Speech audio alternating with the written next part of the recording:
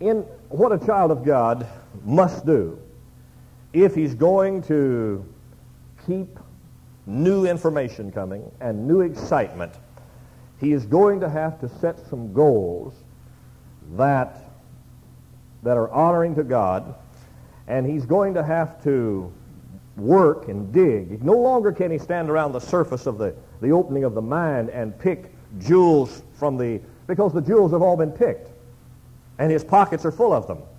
So what he's going to have to do now is he's going to have to get a shovel and start digging.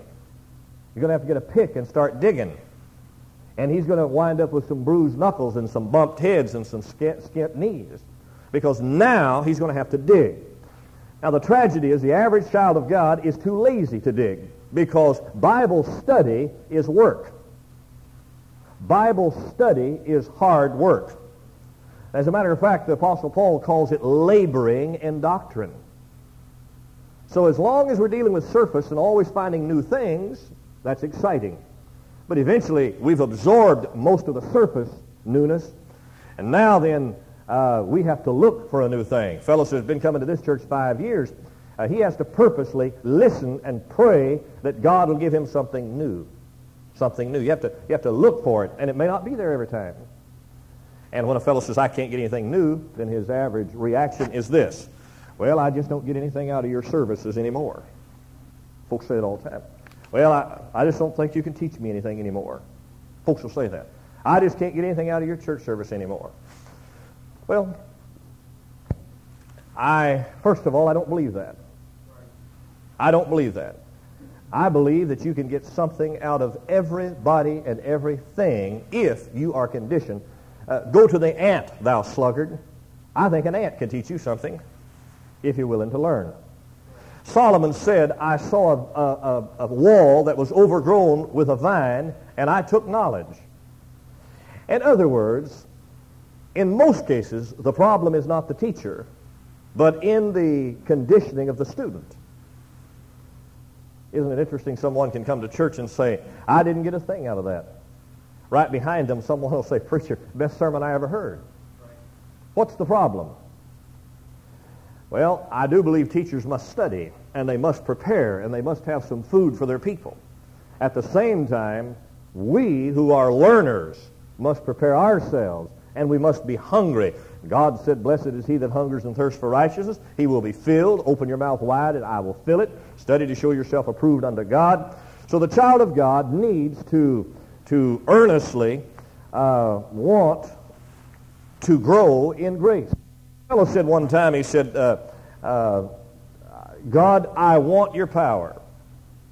And you'd be surprised if I ask you this morning, how many of you want the power of God? I would imagine every hand would go up.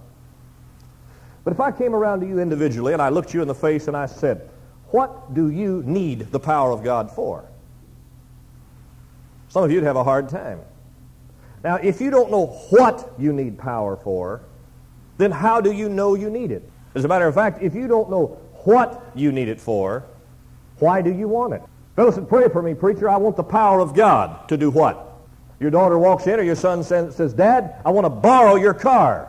So when you and I say, I want God's power, God says, for what? So many times when we talk about the power of God, we don't know what we're talking about. Now, I'm convinced if you, when you talk about the power of God, if you'll pinpoint it, you will find that God will give you the power to do the thing that you want to do. Fellow says, boy, I'm really, uh, you know, I'm, I'm a church member and I'm, uh, I'm really tempted to quit. I'm really being tested. I'm, the devil's tested me. I know that I know God wants me to go to church and be faithful, but the devil is tempting me, and I just sometimes think the devil's winning. So pray for me that I'll have the power of God to what? to withstand the devil and stay in church and do right. Specific. So when we talk about the power of God, for what? You know why a lot of folks want the power of God? Because they want the praise that they think is heaped on. We, we, how we say, boy, that fellow's really got the power of God. So we turn around, we say, well, if I could have the power of God, people would applaud me. So sometimes when we talk about wanting the power of God, all we're wanting is the applause that we think goes with it. The power of God is not to lose your temper on the freeway. That's where you may need the power of God. You maybe. You've got a boss at work that's giving you a fit, and you'd just kind of like to tell him off or quit your job, and you may need the power of God to keep your temper under. Maybe you've got an alcoholic problem. Maybe alcohol is, uh, is has got you by the uh, ring in the nose and leading you around and uh, you they're having a big party down at work, and you're required to be there, and you know that the, you know you shouldn't be drinking that slop, and so you say, I need the power of God. Specifically, you see. God, I want your power if I have to be there. I want the power of God to, to resist this stuff. The question I would like to ask you is, what kind of goals do you have? And by looking at those goals, you can tell if God is in them. What are your goals? What three goals do you think you might have? Think it through. What three goals do you really have? Now, there's a real problem in goal setting. It's not as simple as you might think. And in the church, in the church, there is a, there is a mentality that goes on in the church that there's a segment of professing Christendom, and you'll find folks in this church, perhaps, that have a problem with setting goals because they feel that goal setting is not spiritual. I know some of you fellows that work in the world, you can't believe that, but there are Christians who believe that it is not spiritual to set goals. They believe that if you set goals, that you are usurping the authority and the power of the Holy Spirit. So consequently, you should not set goals, but you should just let God lead. And those are spiritual, that's spiritual jargon that you'll hear thrown around all the time. Oh, we're not setting any goals, just letting the Holy Spirit lead. Now, folks, I know that sounds pious. I know, I know you mean well, but that's not the way it works.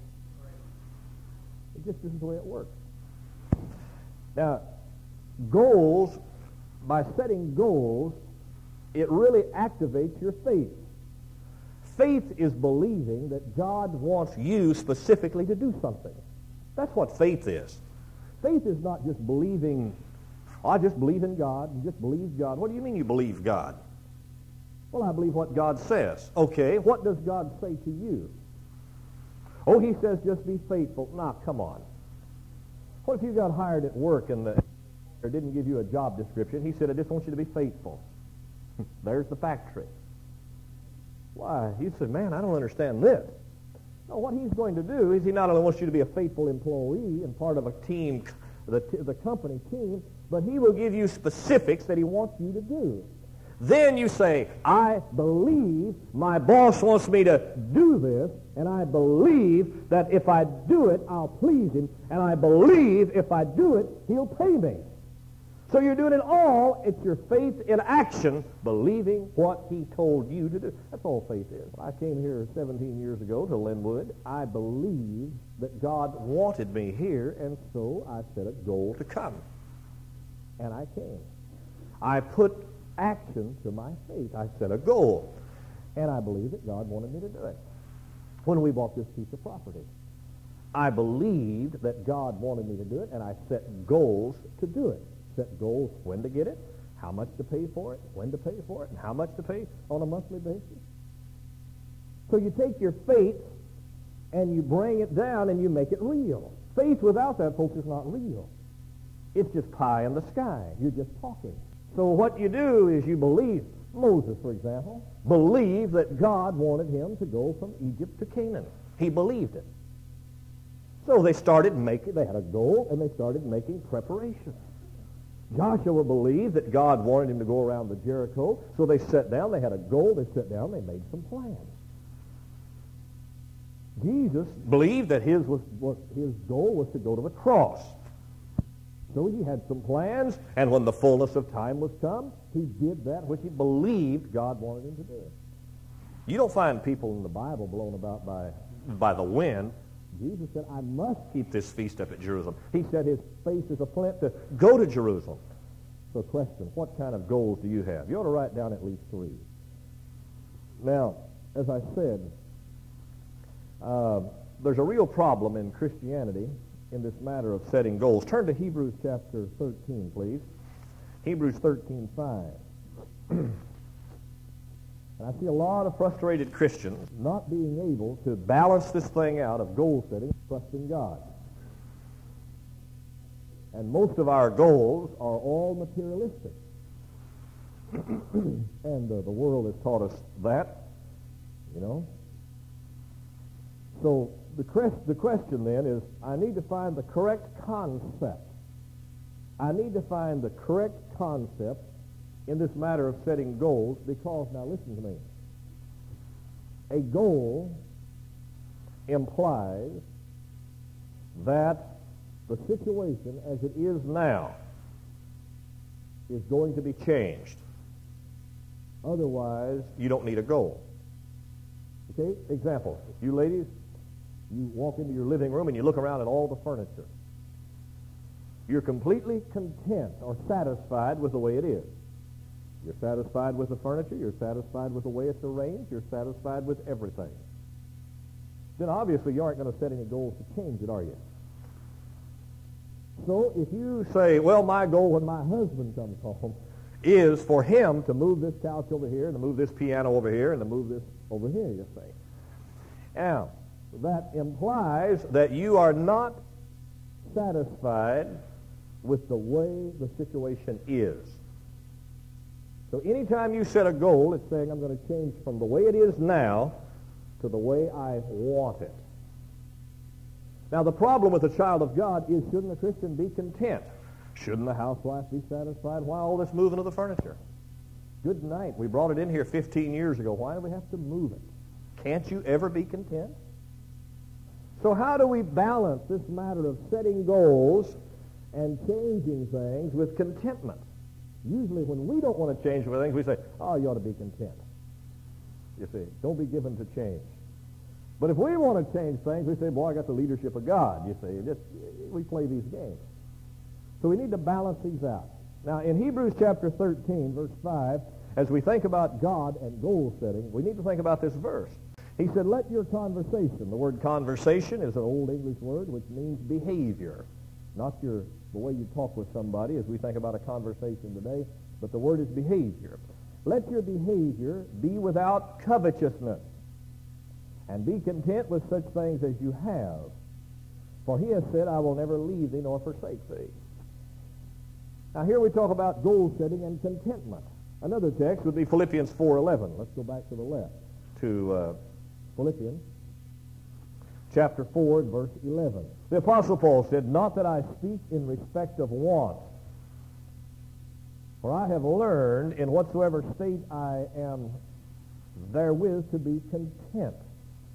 Now, I'll guarantee you, ladies and gentlemen, one thing the American society does not have is contentment. They are not content, and the average Christian is not content. Not content. James says that the wicked are like the troubled sea which cannot rest, whose water they toss, whose waters cast up dirt and mire. There is no peace or contentment, saith my God to the wicked. So the Apostle Paul said in this text, Not that I speak out of respect of want, for I have learned in whatsoever state I am therewith to be content. As a matter of fact, if you'll go with me to 1 Timothy 6, 6, let's go to the left again. I'm sorry, to the right, 1 Timothy 6, 6. 1 Timothy 6, 6. But godliness with contentment is great gain. Godliness with contentment is great gain. Look at verse 5. Perverse disputings of men of corrupt minds, destitute of the truth, supposing that gain is godliness. From such withdraw yourself. You know why? Because if you think gain is godliness, and you think gain is going to bring contentment, you'll never be godly and you'll never be content. You'll never, because you'll never reach it. So if you can't learn to be content with a dry morsel, you definitely are not going to be content with a house full. Because those things will not bring contentment. Fellow said, well, if I could just have a thousand in Sunday school, I'd be content. No, you wouldn't. You won't. I'm not any more content with 500 than I was with 50 because I refuse to let the Sunday school attendance determine my contentment. But you see, many of us, we say, it's got to be a bigger car, then I'll be content. A bigger house, and then I'll be content. A bigger bank account, then I'll be content. More of this and more of that, and then I'll be content. Well, why aren't you content? It won't happen. You see, and the real problem there is refusing to allow God to become uh, your partner in your life.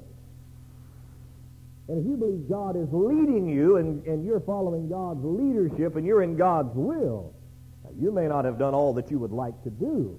And I hope you haven't. And I hope you haven't reached all of your goals. But we're talking about this matter of being able to balance goal setting and contentment. And a lot of folks think, well, when I reach my goals, then I'll be content. You won't. Because when you reach your goals, the devil will move the contentment stake. The stake will be moved. So you have to learn. Paul said, I have learned. And by the way, you learn it. You learn it. You don't pray it down. You learn it. Lady said to me last night, she said, uh, well, I want, I, want a, I want an answer for my life problems now. I said to her, ma'am, I said, your life problems didn't start yesterday, and I can't solve them tomorrow. You see, these are things you learn. And so, in this text, it, it says that uh, in verse 6, he says, destitute of the truth, supposing that gain is godliness, from uh, which, from withdraw yourself. Now, the question then, if I'm supposed to be content, and in whatsoever state I am to be content, and if I suppose that gain is godliness, then where do goals come into this picture? How can a child of God set goals? And by the way, this is why many Christians look at this side of it and say, well, that means you shouldn't set goals. You just should be content. Well, first of all, goal setting does not mean being passive. It does not mean being, pa- or contentment does not mean being passive. You know, fellow said, I'm just content. Late wife says, well, why should we clean up the house? I'm content.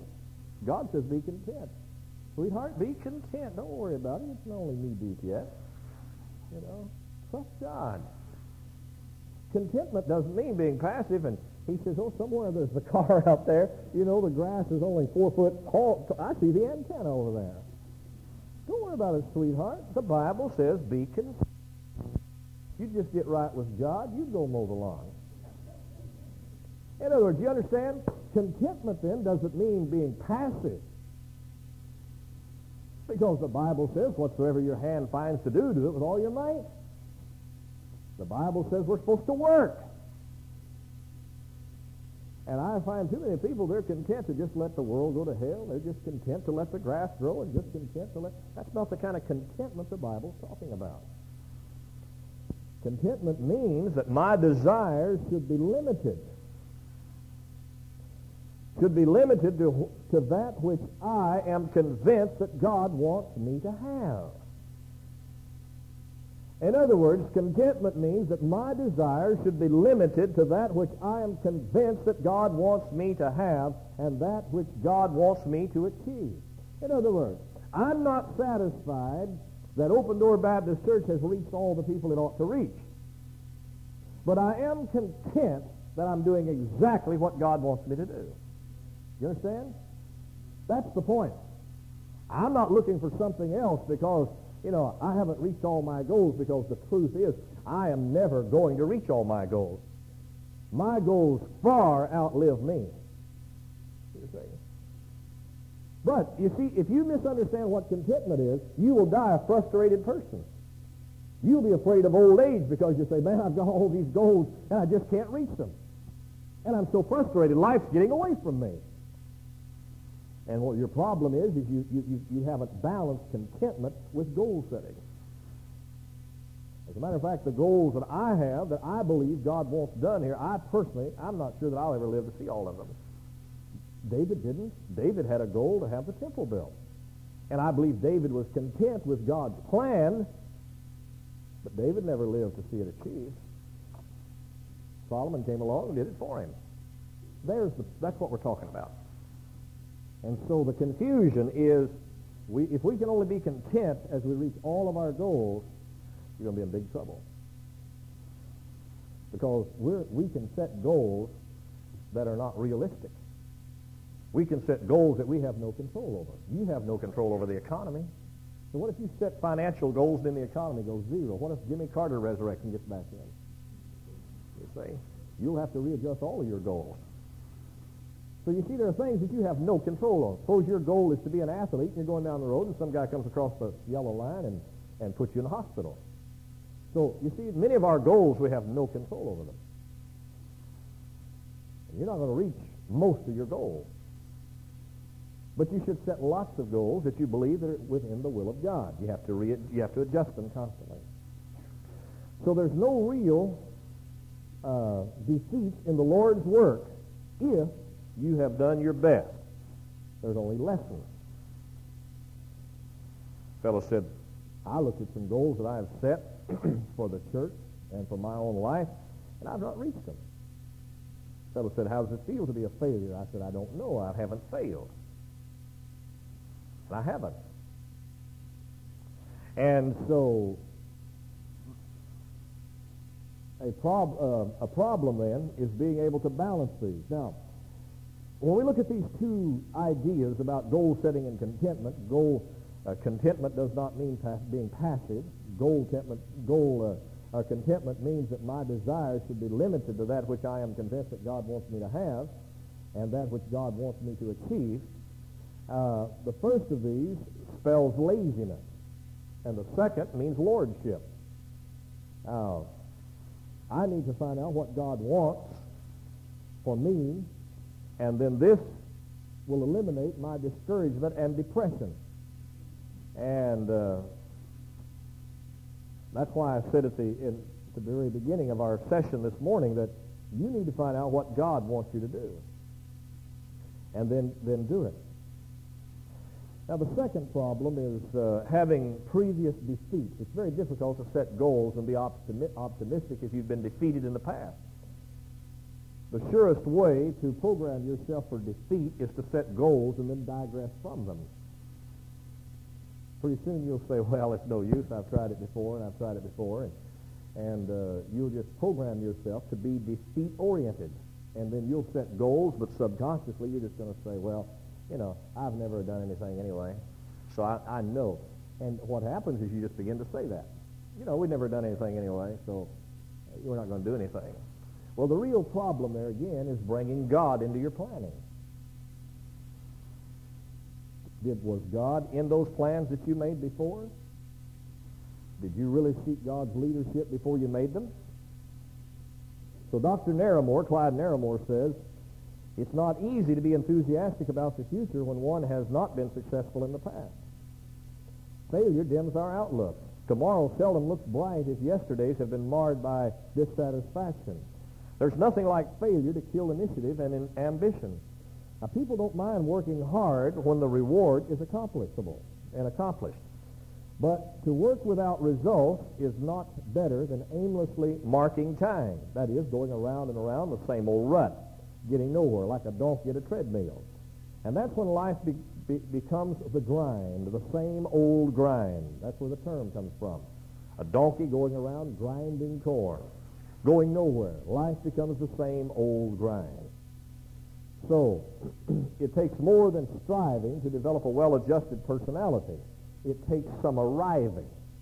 Now, the world would have you to believe that goals is all that matters. But that's not true. You have to arrive. Some people say, matter of fact, there's a philosophy that says that the joy of life is in the traveling and not in the arriving. Well, if that were true and known to be true, then you would say, well, what's the use of traveling? Oh, just for the sake of traveling. But that's not the way God operates. God has some things that he wants you to accomplish that you can look back on. David did that when he faced Goliath. He looked back at a bear, he looked back at a lion, and he used those victories as stepping stones. Now, the way to have victories is to set victories that you can reach. If a bus captain came to me tonight and said, Preacher, tomorrow I'm going to have 200 on my bus route, I would not be a bit impressed or encouraged. Now, I would hope that he would do it, but I wouldn't believe that he would do it. Because I don't think the goal is realistic unless he's running 195 average. Then if he said, I'm going to have 200, I would say, hey, I believe you will. But if he's only running 40 and says, tomorrow I'm going to have 200, I would not be a bit impressed. I would think fella, you don't know anything about goal setting. Now, I would hope that I'm wrong, and he would go out and have 200, but I don't think I'd be wrong. I think he might come back with 50 or 60 or 70. And a fellow keeps setting goals so high that he can't reach them. Pretty soon he programs himself, well, I failed again, failed again, failed again, failed again. So those things, you need to, you need to learn how to do that. And that takes time. It takes time to learn. And how do you learn? You learn by failure. You bump your head enough going through that door, you're going to duck, aren't you? And pretty soon we move the door and you'll just duck anyway. The other day I, I was working on a refrigerator. We had to get a new refrigerator. And uh, I had the freezer door open. And I was down below adjusting some things. And I raised up and hit my head. And I mean buckled right to the floor, you know. And you talk about hurt. And uh, I found, you know, I watched, I noticed myself kind of being cautious. Just one bump will do it. And uh, so that's what will happen to you. You you make enough mistakes, fail enough, and pretty soon you begin to adjust. And the same thing's true in goal setting. You miss enough of them, you make a fool out of yourself enough, pretty soon you'll get into to some realistic things, you know. And uh, things that are not realistic is instant success or instant riches. They're not realistic. You ever notice that in fantasy there are no negatives?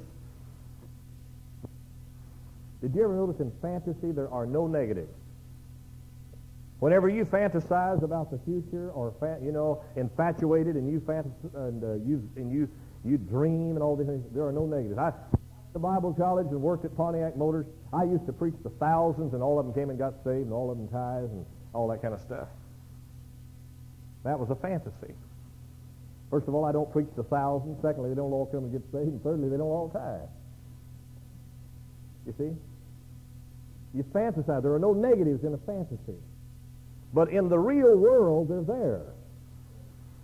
And that's why many times folks want to escape from the real world. They just want to set and dream and set goals and do all this, but they don't want to ever deal with reality. Because it's not as much fun dealing with reality as it is dealing with fantasy. Reality is not always fun.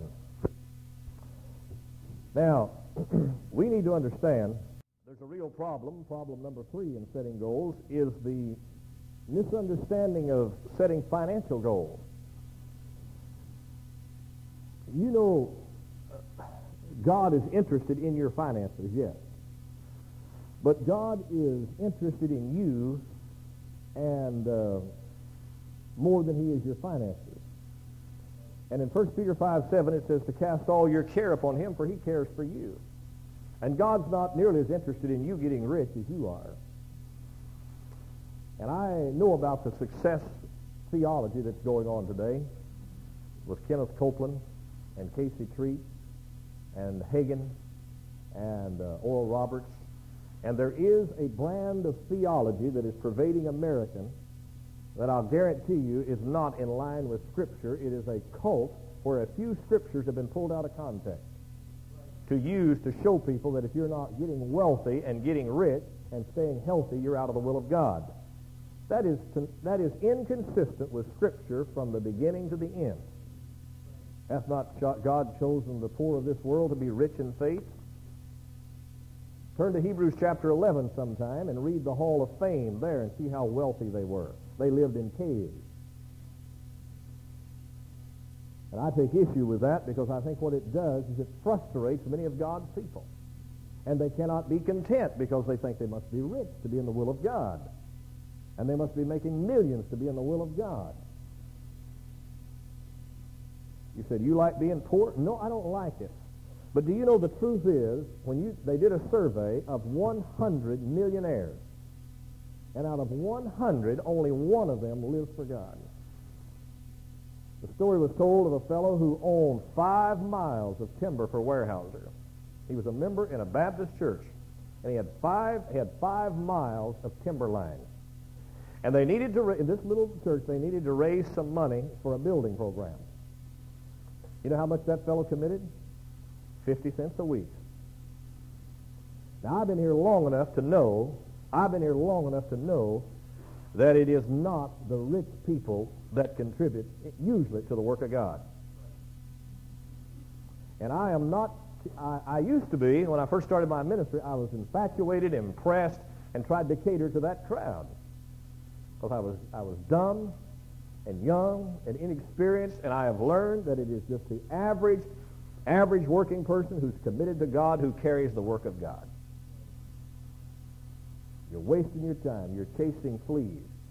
You say, well, you never had any millionaires. oh, yeah, we've had about three of them. About three of them. We had one, one person, their taxes would have bought all of that piece of property. And they knew we were negotiating. And you don't know who I'm talking about. And we were negotiating on this piece of property right next door. Their taxes would have paid every bit of that piece of property. You know how much they gave toward it? You know how much they, nothing. Nothing. That's how they got their money. They keep it. See? Now, I'm just simply saying that you probably will not be a better Christian. As, and, and another thing, I've watched success ruin more people than I have than, than failure.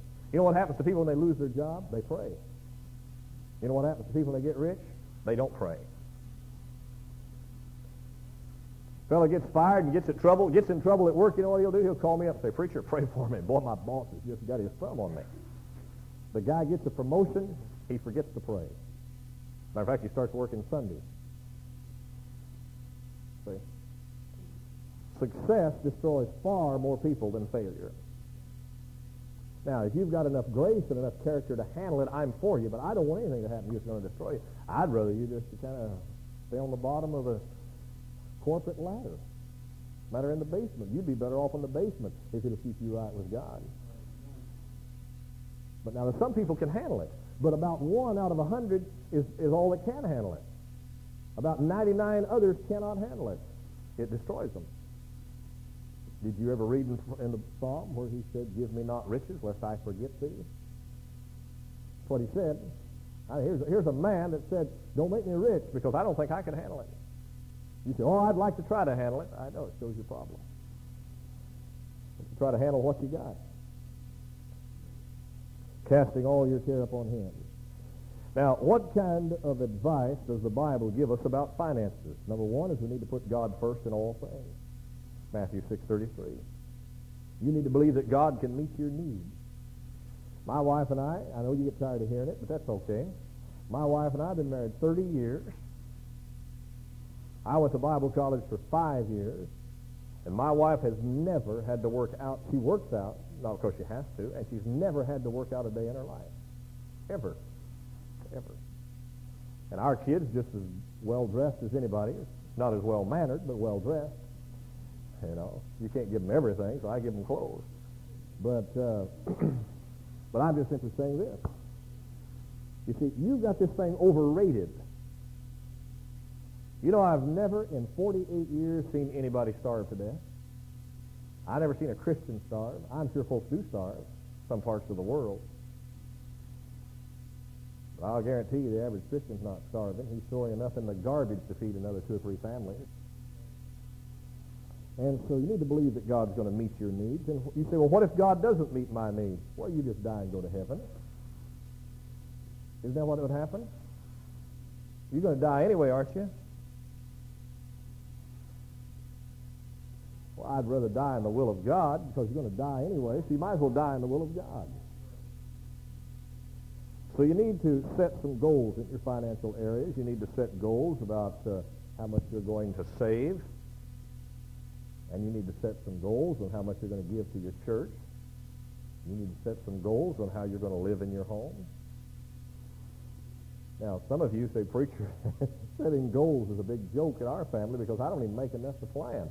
Well, then you need to probably get the knife and start whittling and readjusting, and you, I don't know. I, every situation has to be evaluated. Everybody's different. I know when my preacher, one time he preached on tithing, and I said, I can't tithe. So he said, come on over to the house, and we looked at, sat down and went over my income and my outgo, and he just pushed himself back from the table, and he said, he said, Ken, I don't really think you can tithe. And boy, was I glad to hear that. I said, I told you. I said, what do you want me to do? He said, tithe anyway. Don't ever come to me and tell me that you cannot pay your tithes to God and take care of your obligations. Because do you think I'm going to tell you to rob God? And that's what the average guy does. He says, well, preacher, I know I'm supposed to tithe and I'm supposed to pay this guy, him 20 bucks. What do you think I ought to do? I think you ought to go soak your head. Don't come and ask me that question. That's like a guy saying, uh, now let's see, uh, I normally beat my wife on Thursday. What do you think I ought to do? You know, don't come and ask me if I, if, if I think you ought to obey God. Don't obey fears. Huh? Okay.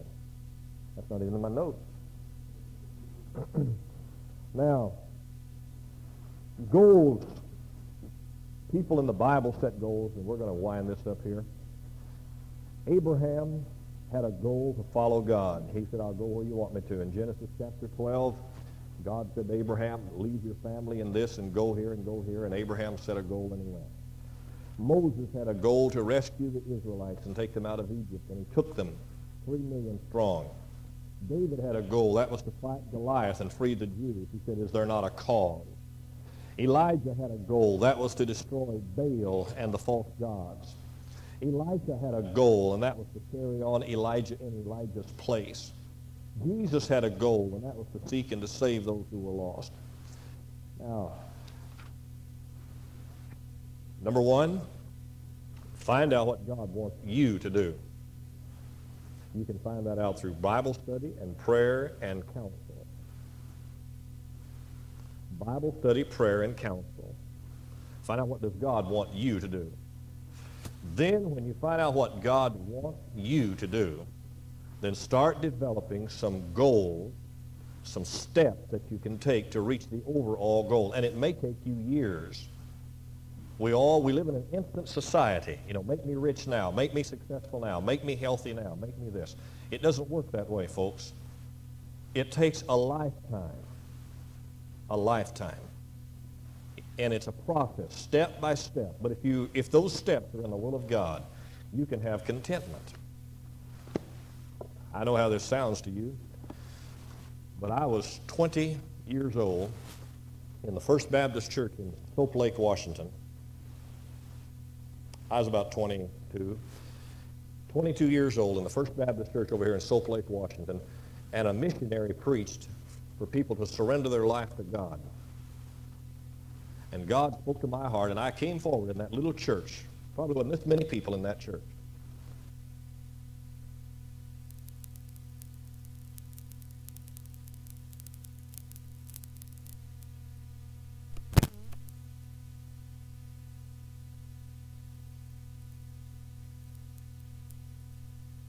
said, God can have my life. I'm going to use it for His glory. Now, I didn't know if I was going to, I didn't know, I didn't know anything about the future.